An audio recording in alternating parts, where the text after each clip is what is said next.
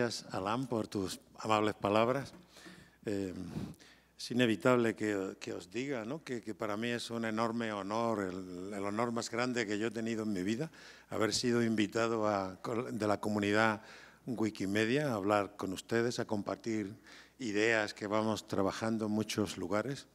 Y me siento de verdad, de corazón, muy honrado, muy feliz de, de, que se hayan fijado en mí como posible persona que, que tiene algo que contar interesante. Bueno, em, yo creo que estoy aquí porque trabajo desde hace bastantes años en una institución madrileña que se llama eh, Medialab Prado, en donde eh, hemos intentado todo el tiempo luchar por la denominación laboratorio ciudadano.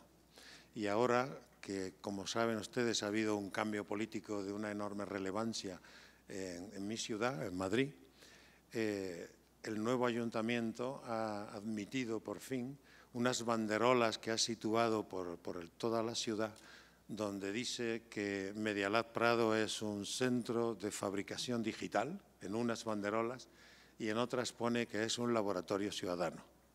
Entonces, eh, también por ese motivo estoy muy contento. Y lo que vengo a contaros es eh, Primero, ¿por qué queremos luchar por esta denominación de laboratorio ciudadano? Y luego quiero problematizar con ustedes, aquí en vivo y en directo, eh, una cierta noción de archivo. ¿Cómo deberíamos tratar la información que constantemente allí se produce? Medialab Prado es un lugar donde llegan eh, eh, presumimos de ser un centro hospitalario donde damos acogida a cualquier proyecto que venga de una asociación de afectados, de un grupo de interés, de un movimiento social o de un colectivo de, de ciudadanos que creen tener una idea de cómo hacer las cosas mejor, de cómo podemos hacer algo para que mejore nuestra ciudad. Y entonces les damos hospitalidad y, hemos detectado en estos años que los movimientos sociales están evolucionando en una dirección extremadamente interesante. Una dirección que a nuestro juicio se puede simplificar en tres puntos. El primero es que son organizaciones que han transitado desde o están transitando desde la protesta a la propuesta, lo cual es tanto como decir que han decidido voluntariamente y de forma autogestionaria eh, convertirse en una comunidad de aprendizaje y explorar formas de organización de esa comunidad que son extremadamente originales y que eh, abrazan valores que hasta ahora considerábamos residuales y que consideramos valores signo de instituciones fracasadas como son eh, crear entre sus miembros lazos eh, parciales, esporádicos, frágiles, y todo eso que antes considerábamos un tremendo error, hoy lo damos como una enorme cualidad adaptativa de este nuevo tipo de organizaciones. La primera característica decía transitar desde la protesta a la propuesta. La segunda característica que me parece que también está sucediendo es que han dejado de darle demasiado valor a la cultura experimental y empiezan a otorgar la mayor dignidad cognitiva y también política a la cultura de lo experiencial. Y esto es para nosotros también un cambio muy importante porque e, en ese tránsito nos jugamos algo muy importante y es que mientras que en la cultura experimental solo muy pocas personas son capaces de hablar con propiedad, porque la cultura experimental en términos generales está asociada a lenguajes sofisticados, a herramientas costosas, a prácticas difíciles de aprender, la cultura experiencial, por contrapartida, es una cultura en la que todos somos expertos. Todos somos expertos en experiencia, cada uno en lo suyo. El que sea diabético acaba sabiendo de la diabetes más que su médico y el que esté deprimido acaba sabiendo de padecimientos mentales más que su psiquiatra. Y lo que vale para estos dos ejemplitos tan breves se puede extender a todos los colectivos de afectados en términos generales. Y la tercera característica que me parece que es muy relevante y que muestra el nuevo signo de los tiempos es que están configuradas por personas que antes se consideraban con el derecho a reclamar permanentemente derechos de los poderes públicos. Un ciudadano es alguien que ha sido entrenado para que ejercite su capacidad para reclamar derechos. Pero estamos viendo unas nuevas formas de ejercicio de la ciudadanía en la que ahora nos creemos capaces de producir infraestructuras, infraestructuras que mejoren nuestra vida en común. Y esto también es muy interesante. En particular, en Medialab Prado hemos desarrollado todo un cuadro de técnicas, algunas más teóricas y otras más de formato taller, que se vertebran alrededor de la noción de prototipo. Y el prototipo quiere decir dos cosas. Una, la obvia, la que cualquiera puede decir inmediatamente, es que tiene el prototipo la, capacidad de anticipar algo que luego se va a desarrollar plenamente. Es entonces algo tentativo, algo provisional, algo que no, no huye del error, sino que convierte el error en una fuente de aprendizaje. Es lo que antes llamamos modelos. Los prototipos son modelos que anticipan cosas. Eso es una característica importante, pero para nosotros es mucho más importante esta noción de que los prototipos están abiertos. Que están abiertos quiere decir que eh, nadie tiene el derecho a cerrarlos.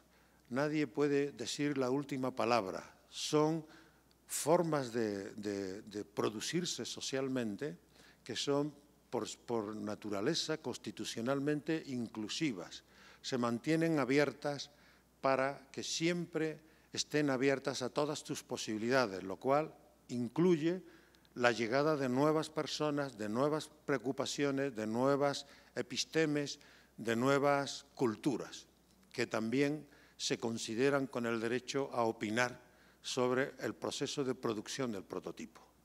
Entonces, en realidad, si le damos mucha importancia, y para nosotros tiene la máxima, la noción de prototipo y nosotros decimos que somos un taller de prototipos, donde se hacen prototipos allí, eh, en realidad lo que estamos diciendo es que nos importa poco llegar a resultados que se puedan objetivar y que puedan producir productos que puedan independizarse de la comunidad que los acaba de crear.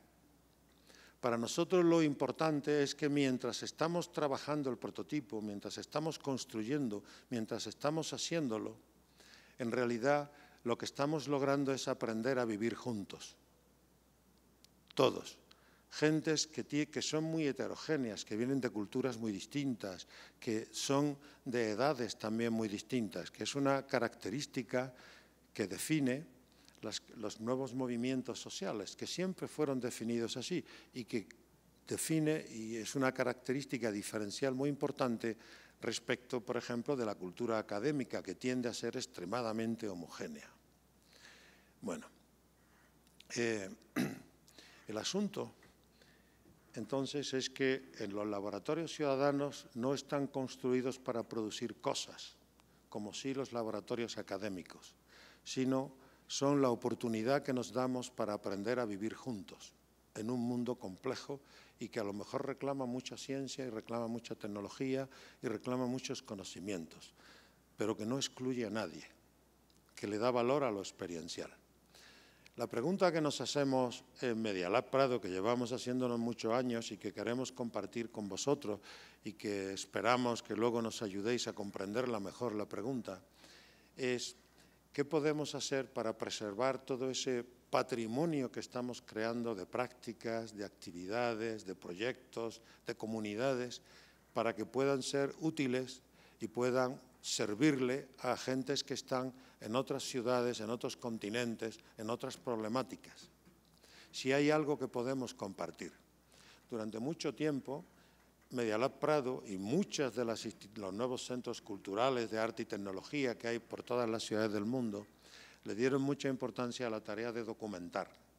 Y ahí teníamos como un axioma, aquí no se hace nada que no se documente, que no haya varias cámaras, como veo que ocurre aquí en este momento, grabándolo para enseguida retransmitirlo y subirlo a la red y etiquetarlo y mucha gente haciendo fotografía. Pensábamos que con eso era suficiente. Pensábamos que eh, convertir el conocimiento en información era una tarea clave constitucional de este nuevo tipo de organizaciones, de este nuevo tipo de laboratorios ciudadanos. Y, y, hemos estado convencidos de que hacíamos las cosas muy bien y que éramos modélicos y ejemplares, hasta que de pronto fuimos a nuestro archivo y vimos que solo era un repositorio de materiales increíblemente grande, difícil de manejar, donde nosotros mismos no encontramos lo que buscamos. Nosotros mismos, quiero decir, las personas que estábamos más vinculadas a ese proyecto.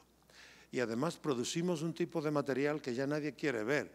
Eh, grabamos intervenciones que duran hora y media y dos horas. ¿Y quién tiene dos horas para ver eh, en la tele? O sea, nadie hace estas cosas. Entonces, estamos seguros de que hacemos las cosas mal. Estamos seguros de que se pueden hacer mejor. ¿Y qué podemos hacer para hacerlas mejor? Y para hacerlas mejor, lo que, lo que mi, manera de acercarme al problema o de prototipar el problema es ir a buscar alguna comunidad que a nuestro juicio lo esté haciendo de forma ejemplar. Y hay muchas comunidades, pero yo quiero solamente mencionar tres, porque tampoco tenemos mucho tiempo. Me gustaría mucho dejar yo de, hablar en cualquier momento para empezar una conversación entre todos. He buscado tres comunidades para mostrar la diferencia que hay entre construir un, repositorio o un archivo y hacer eso otro a lo que deberíamos aspirar y que consideramos urgente. La primera comunidad en la que me he fijado está descrita por una chica que ha dedicado prácticamente su vida a ella, se llama eh, Bekovic y ha estudiado las comunidades lesbianas especialmente en California. Y entonces se ha encontrado con que es un colectivo que tenía una urgencia, una necesidad muy grande de hacer un archivo. Y de hacer un archivo en el que la voz cantante no la tuvieran las mujeres más mediáticas, las mujeres más activistas, las que hablan mejor en público, las que son más famosas, las que Google les da más visibilidad, sino ir a preguntarles, dentro de una concepción global del archivo del duelo, de el mucho sufrimiento que hay en esa comunidad, ir a preguntarle a las invisibles, a las que no tienen una gran historia que contar, a las que nunca nadie les preguntó si tienen algo que decir. Y ha construido un archivo para ellas y con ellas. Y entonces, la historia es muy larga, estoy contando una chica que ha dedicado su vida a este problema. Y yo la estoy resumiendo en dos o tres minutos. Espero no atropellar nada que sea realmente importante. Lo que ella llega a la conclusión es que eh, las propias participantes en el proyecto no querían que se separara el archivo, o sea, la producción, las producciones que ellas estaban haciendo delante de una cámara o escribiendo, no querían que se separara de la propia comunidad y han luchado para que ese archivo no acabe llegando a una de las grandes instituciones dedicadas a la archivación de documentos. Querían que estuviera allí. Y esto me parece una característica eh, verdaderamente relevante. Dos, de este ejemplo he puesto mi atención en dos asuntos. Eh, el testimonio de los que no son importantes, de las que no tienen una historia que contar o nadie fue a preguntarle si tenían algo que contar, y dos, su resistencia a que el archivo no estuviera en la casa de una de ellas y que fuera un sitio plenamente accesible, porque para ellas el archivo no era un lugar donde iban a depositar cosas que sobraban, sino era un espacio para la exploración comunitaria de los problemas asociados a la condición de lesbiana era un espacio de investigación, no un espacio de memorialización.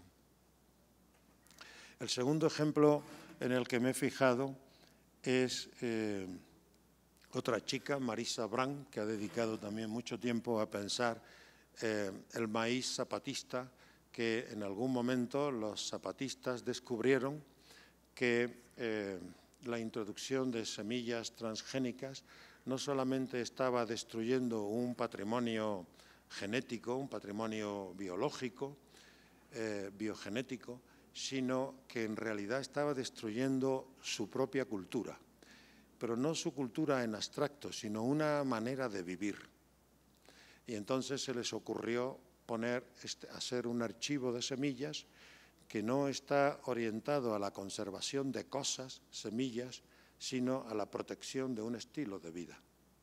Pero para hacerlo tuvieron que montar un laboratorio de genética buscando genetistas de todo el mundo que quisieran entregar sus conocimientos, su tiempo y algunos hasta su vida que se trasladaron a vivir a Chiapas para hacer el mapa genético de esas semillas y poder entonces saber qué es lo que estaban defendiendo en términos concretos y precisos. De manera que no solamente estaban defendiendo un estilo de vida, sino que lo tuvieron que hacer usando las tecnologías más sofisticadas del planeta en ese momento. Esto me parece también otra característica interesante. Y el tercer ejemplo que os propongo para pensar conjuntamente también se debe a otra chica, se llama Diana Taylor, y está dedicado toda su vida a pensar en la performance. Cuando pensamos en la idea de archivo y en la idea de cultura, casi siempre estamos pensando en algo que ha sido literaturalizado, algo que se puede decir con palabras escritas. Pero la mayor parte de las cosas que hacen los humanos no tienen que ver con la cultura escrita, especialmente los comunes, los humanos que tienen menos cultura o que tienen menos acceso a los bienes culturales. Casi todo lo que hacen lo hacen mediante performance. Ella llega a esta conclusión porque hay mucha gente que quiere archivar el teatro, que quiere archivar la danza, que quiere crear archivos para eso, pero siempre se queda muy decepcionada porque cuando va a ver los registros encuentra que los registros no dan cuenta de lo que verdaderamente es importante. Reflejan la pirueta, pero no reflejan cómo cambia la relacionalidad que se da entre quienes están mirando y quienes están actuando. Y de alguna manera, la buena danza, la buena coreografía se hace no para que los que tienen un cuerpo virtuoso hagan piruetas delante de los que no saben hacer nada, sino se hace justo para lo contrario, se hace para romper esa divisoria entre los que saben danzar y los que saben emocionarse mientras otros danzan. Pero eso no lo ve la cámara, es invisible. Todo lo tácito es invisible. Pero es que todos los archivos adolecen del mismo problema, no importa dónde los hagamos. Los archivos nunca ven nada que no esté escrito. Es decir, nunca ven al 99,9% de la población del mundo, nunca ven lo que de verdad nos pasa.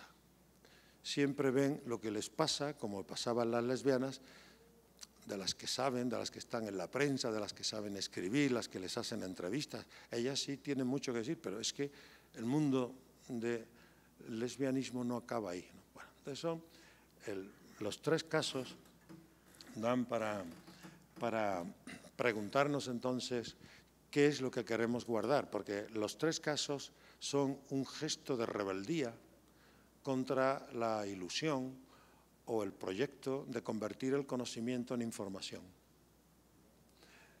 Cada vez que alguien se plantea en serio la idea de archivo, la idea de qué registrar, qué preservar, se encuentra con el problema de cómo superar esta deriva de nuestro mundo que quiere que todo el conocimiento solo sea información.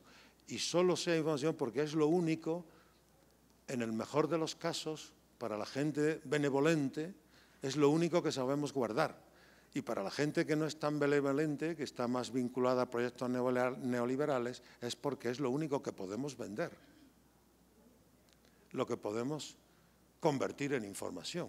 Así que sigue teniendo sentido preguntarnos qué es lo que en Medialab Prado, y doy por hecho que Medialab Prado es mi experiencia concreta, pero aquí todos tendremos una experiencia en su propia organización, en su propio movimiento, en su, propia, en su propio laboratorio ciudadano, de si, qué es lo que vale la pena eh, filmar, si esa, esa gestualidad iniciática y constitucional de Medialab que nos creíamos estar haciendo algo muy importante, y yo creo que lo hicimos parcialmente al menos, de que eh, dar cuenta de lo que pasa es poner una cámara y que lo filme todo y enseguida echarlo a la red, es suficiente. Yo pienso que no es suficiente, estoy convencido que no es suficiente y ya voy a dedicar los dos o tres últimos minutos que me quedan a decir, a modo de conclusión y a modo de propuesta, qué es lo que a mi juicio deberíamos empezar a hacer o a intentar hacer. Ya veremos si somos capaces. Eh,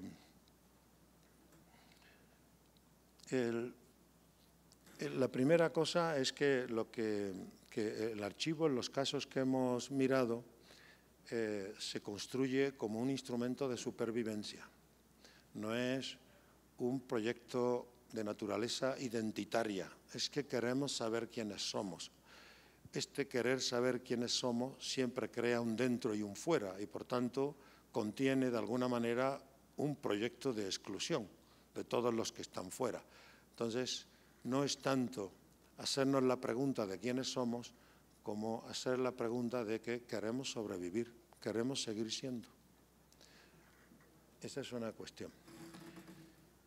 Eh, la, otra, la otra propuesta con, medio conclusión que, os propongo es que cada vez que hacemos esto de convertir el conocimiento en información, cada vez que creemos que lo que hay que guardar es aquello que es codificable, estamos de alguna manera renunciando, y los tres casos que he puesto pues tenían esa función, estamos renunciando a una enorme cantidad de conocimiento que es justamente el conocimiento de los comunes, es justamente el conocimiento de la gente que más necesidad tiene de que nos fijemos en ellos, que más necesidad y urgencia tiene de que haya alguien que quiera contarnos cómo ven ellos el mundo, cómo les gustaría que el mundo fuera. De manera que la, segunda conclusión tiene que ver con esta nueva habilidad que deberíamos desarrollar para dejarnos afectar por lo que es local, por lo que es periférico, por lo que es minoritario, por lo que está asociando asociado a proyectos que tienen muchas dificultades para hacerse visibles. Dejarse afectar por todo eso. Dejarse afectar de la misma manera que Jane Goodall, cuando la mandaron a, vivir con los gorilas, Licky, que fue quien la seleccionó, le, pidió para ser seleccionada a una persona que fuera mujer porque... Cinco. Perfecto. Eh, una mujer porque las mujeres han probado mayor capacidad para fijarse en los detalles y luego le pidió como segunda condición que fuera una persona sin estudios, una persona que no tuviera mucho, muchas acreditaciones porque tenía que aprender a desaprender, porque querían una persona que llegara sin prejuicios, que llegara sin la lección aprendida. ¿Para qué sin la lección aprendida? Para dejarse afectar por las gestualidades de los gorilas y ver en esas gestualidades formas de comunicación, formas de interactuar entre ellos. Solo una persona con capacidad para fijarse en los detalles y que, y que no tuviera nada que desaprender porque ya venía desaprendida, tendría una eh, facilidad mayor para lograrlo. Nosotros, en este archivo, en este dar cuenta de lo que hacemos, deberíamos también aprender de Jane Goodall, de esta habilidad para dejarnos afectar por todo lo que tendemos a considerar irrelevante en nuestros archivos. Eh, la tercera cosa que evoca todo esto que estoy diciendo es que los imaginarios del, del testigo, del reportero, del auditor, parecen muy cortos para el proyecto que tenemos entre manos y que no es de ellos de quienes debemos sacar inspiración, sino de los imaginarios del poeta, del cómico, del artista, que han expresado a lo largo del tiempo justamente esta habilidad para detectar en lo singular una grandeza, una, una excepcionalidad, algo de donde aprender. Eh, en cuarto lugar, eh, ¿qué es lo que debemos archivar? ¿no? Yo no, sé cómo expresarlo con mucha claridad, pero sí tengo claro lo que, lo que me gustaría hacer. Yo creo que lo que tenemos que archivar es todo eso que hemos experimentado, pero que no sabemos decir. Que no sabemos decir, no, no tenemos palabras para encontrar la forma de decirlo. Y no tenemos palabras no porque seamos más tontitos o menos tontitos, sino porque en realidad no hemos investigado lo suficiente, no le hemos dado bastante valor a lo experiencial. Y si tuviera más tiempo podría poner algunos ejemplos de comunidades de afectados que dándole importancia a lo que han experimentado han logrado encontrar las palabras para decir lo que han experimentado. En realidad yo creo que cualquiera de nosotros se ha visto en la vida muchas veces en la tesitura de saber que algo le ha pasado importante pero no sabe cómo decirlo. El éxito de este proyecto del que estoy hablando tiene que ver con la capacidad colectiva entre todos de encontrar esas palabras. Y encontrar las palabras en realidad es una forma de reinventar el mundo, de encontrar otras narrativas, de decir lo que no sabíamos cómo contar. Y, ya la última cosa que me parece interesante, eh, entre los proyectos que más me han llamado la atención em, en Madrid y luego investigando he logrado ver que hay proyectos similares en muchas ciudades del mundo. hay un proyecto que se llama Basurama, que es un proyecto construido desde la idea. El principio constitucional de este proyecto es que somos lo que tiramos. Y, y hay una enorme cantidad de literatura para argumentar por qué es razonable construir esa tesis, la de que somos lo que tiramos, porque eh, lo que tiramos es, es algo muy material, es algo que no miente. Nos deshacemos de todo aquello que pensamos que no sirve para nada.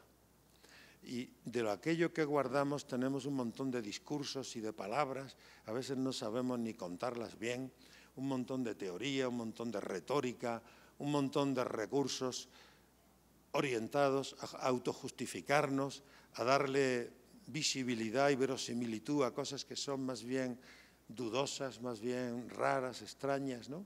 Entonces, e, esta confianza en la basura como un testigo real, fiel de lo que somos, porque a través de lo que tiramos podemos también saber mucho de qué es lo que no apreciamos y qué es lo que apreciamos.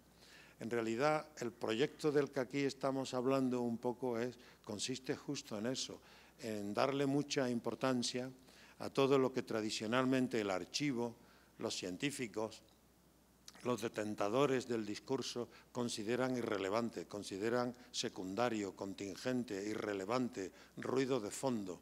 En realidad, poner en valor y darle dignidad a lo experiencial es de alguna manera adoptar un gesto contrahegemónico. Es asumir que en efecto somos lo que tiramos, y que los nuevos laboratorios de ciudadanos lo que están es construyendo a partir de lo que tiramos, de lo común, de lo sin valor, de lo que nunca entrará un museo, de lo que nunca entrará un archivo, de lo que nunca entrará una exposición, de lo que ni siquiera sabemos cómo decir, pero que hemos experimentado. Nada más. Gracias.